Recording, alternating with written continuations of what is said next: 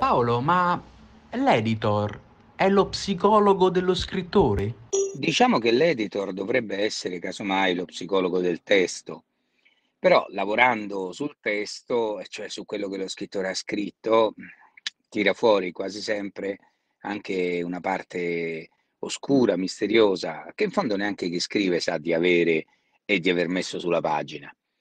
E perciò sì, in qualche modo si può anche dire che l'editor rischia di diventare lo psicologo dello scrittore.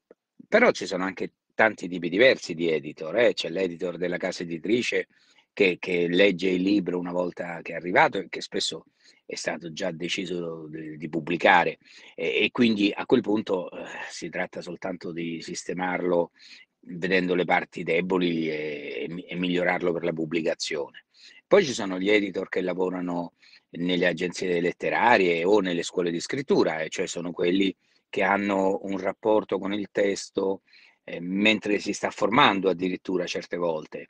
E, ecco, quelli, quelli in effetti rischiano di diventare degli psicologi un po'. Ecco, l'importante è che non diventino degli psicologi autoritari, che non diventino dei divoratori di scrittori, perché anche quello è un rischio, quello che si senta eh, la voglia di, di dominare eh, e, e, di plagiare anche un po', insomma di far sì che ogni romanzo pubblicato somigli più a chi lo pubblica che a chi lo scrive.